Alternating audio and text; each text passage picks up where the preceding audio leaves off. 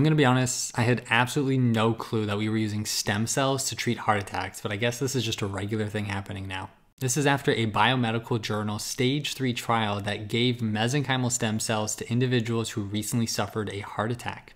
They essentially wanted to give it to them to see if they could reduce their likelihood of developing future heart attacks or even heart disease. They enrolled about 400 people, gave half of them the standard care, and then gave the other half standard care plus the mesenchymal stem cells. They then tracked them for a little over 30 months and wanted to see how they ended up developing over time they found that those who ended up having the mesenchymal stem cells end up having a heart failure rate reduced by almost half compared to the control group. The crazier part is they also had almost one fourth the amount of hospitalizations compared to the same control group.